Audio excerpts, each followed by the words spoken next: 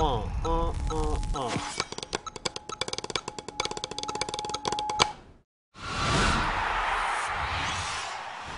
Welcome to SCOJO's Lick of the Week.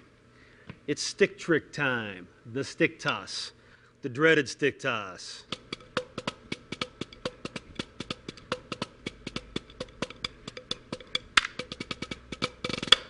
Many different variations of the stick toss. We're going to talk about a couple of them.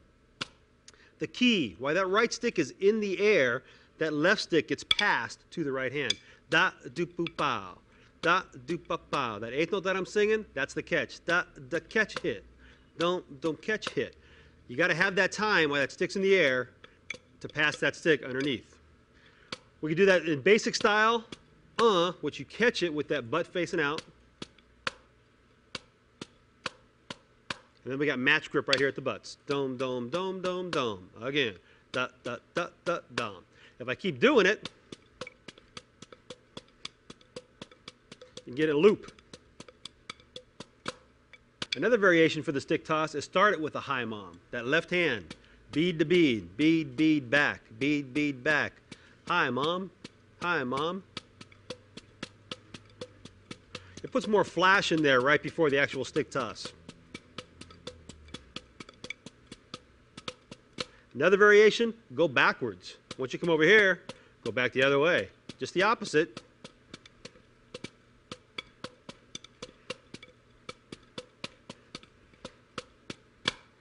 Many variations for stick tosses. The key thing is don't hit yourself. It's real easy to get out of control sometime with those sticks in the air. Stay in your space.